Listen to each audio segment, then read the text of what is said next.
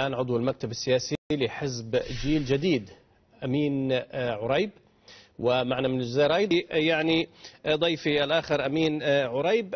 ما رأيك سيد أمين؟ هل البيان الذي قرأ اليوم برأيك يعني جاء شافيا للتطلعات وما رأيك في هذا الفصل الذي يتم الآن كما قال ضيفنا بين الشارع وصوت الشارع وبين المعارضة التي لديها أجندة مختلفة؟ تحية لكم ولقناتكم المحترمة ومشاهديكم الكرام. في الحقيقة أعتقد أن الأمر واضح واضح تماما. اليوم خارج الجزائريين عندما دعت حركة مواطنة وحزب جيل جديد دعا المواطنين الجزائريين للخروج إلى الشارع خرجوا بصوت واحد يوم الجمعة.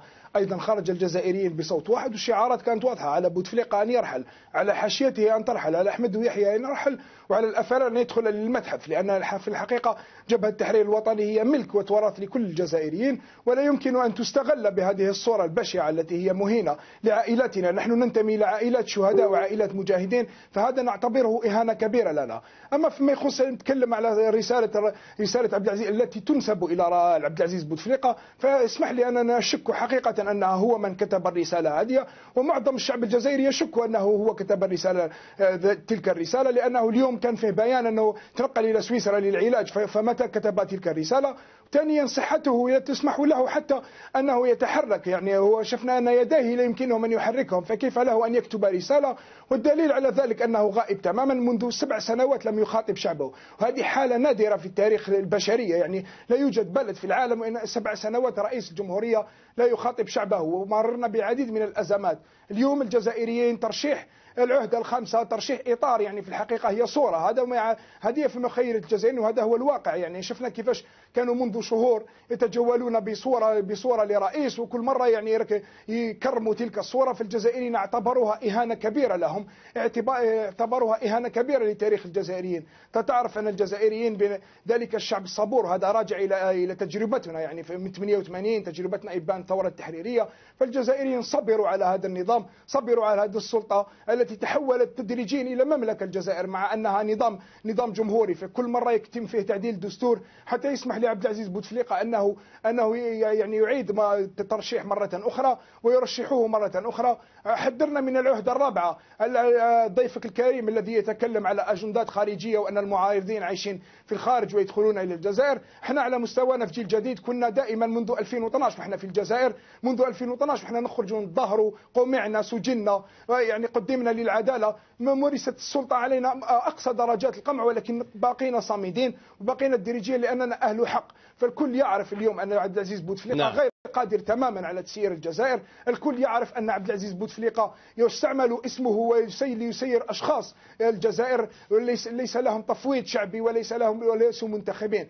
أما فيما يخص الانتخابات اللي يتكلم عليها ضيفك الكريم فهو يعرف أعتقد أنه طبيعة الانتخابات في الجزائر والكل يعرف انتخابات أنها تدار على طريقة نجلان يعني في الحقيقة. فالرئيس عندما يترشح رئيس عبد العزيز بوتفليقة مهما كانت حالته وأكيد أنه لن يخاطب الشعب ولن يستطيع حتى أن يؤدي يؤدي القسم الدستوري وكذلك أنه لم يستطع أن يؤدي طيب واجباته الدستورية الملزمة التي لا يمكن أن يفوضها لآخرين.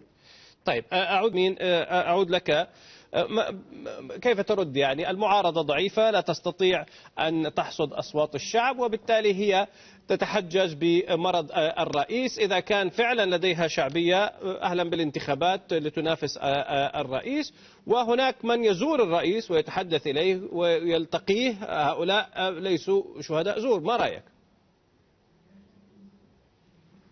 في الحقيقة أعتقد أن اليوم يعني برهنا ما هي قوة المعارضة. اليوم حركة مواطنة دعت إلى مظاهرات عارمة وخرجت كل المظاهرات في الجزائر العاصمة كلها في عدة ولايات.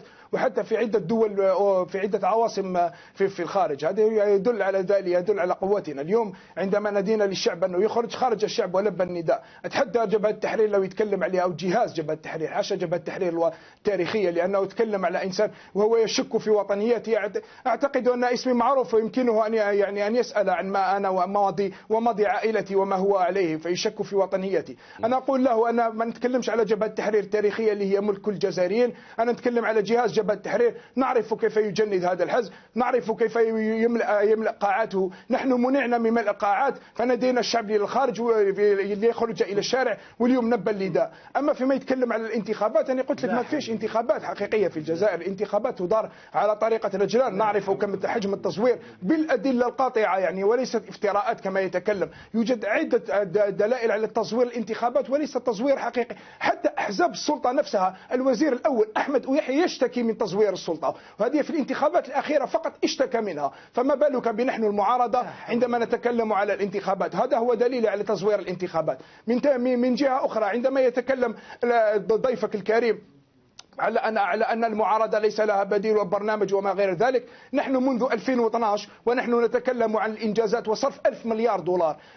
ألف مليار دولار نسبة الفساد الخيالية في الجزائر. نعرف ما مدى مشاريع آه، طريق سيار غرب كيف هو أغلى كيلومتر في العالم. يعني إنجاز كيلومتر الواحد في العالم هو الأغلى في الجزائر. ونعرف نسبة النهب ونسبة الاختلاسات المالية اللي تحدث في الجزائر.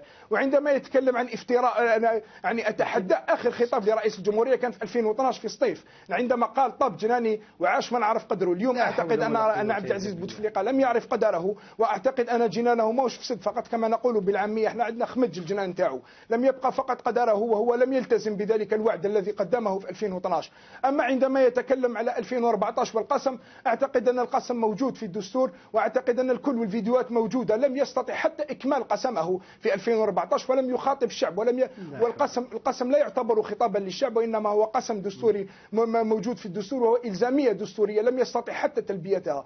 لذا عندما يتكلم ضيفك الكريم ويقدم دلائل عليه أن يقدم دلائل دلائل صحيحة وأن يكذب على الرأي العام الدولي وعلى الرأي طيب الجزائري. تكلم آه، منذ قليل على الرأي العام الداخلي. أعتقد أن الرأي الداخلي العام الداخلي هو في الشارع وسيخرج في 26 فبراير أي بعد غد بعد غد إلى كل الجامعات الجزائرية. ويوم الجمعة ستكون مظاهرات حاشدة حتى يسمعوا هذا الرأي لو يتكلم عليه الرأي طيب سيد أمين. سيسمعوا صوته. أه، أه، سيد أمين في جملة أيضا أه، لو سمحت باختصار قبل أن أعود سيد مسعود.